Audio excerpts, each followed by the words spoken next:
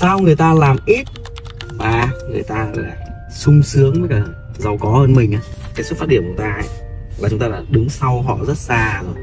Họ sinh ra đã hơn chúng ta rất nhiều rồi đúng không? Khi mà chúng ta còn lạch cạch cái xe đạp thậm chí là đi bộ đi học thì họ đã có xe đưa xe đón rồi. Rồi gì ạ? À, khi chúng ta học những cái trường làng thì họ đã học trường quốc tế.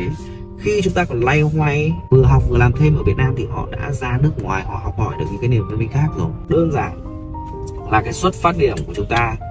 Thấp hơn, chậm hơn thì chúng ta phải lấy đà nhanh hơn.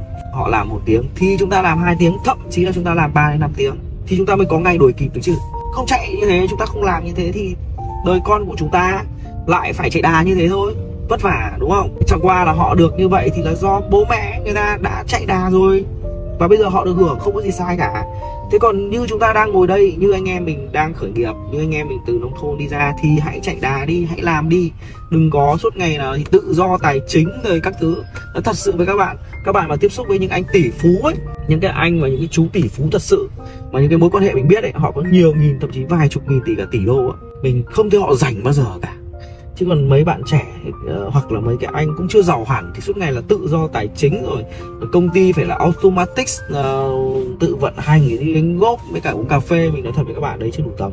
Hãy nhìn vào các tỷ phú thật sự những cái người ở Việt Nam mình đang là những cái tỷ phú mà tất cả mọi người phải biết tới ngưỡng mộ ấy thì họ vẫn đang làm ngày làm đêm luôn.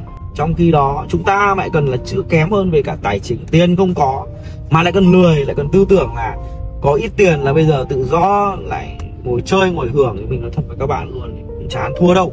Mình quan điểm của mình nó thế. Có thể các bạn không thích nhưng mà đấy là sự thật.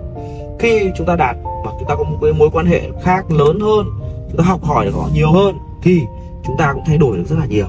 Và chúng ta cũng hạ cái tôi mình xuống. Đấy, để làm sao ạ? Để nhìn ngước lên và cố gắng hơn.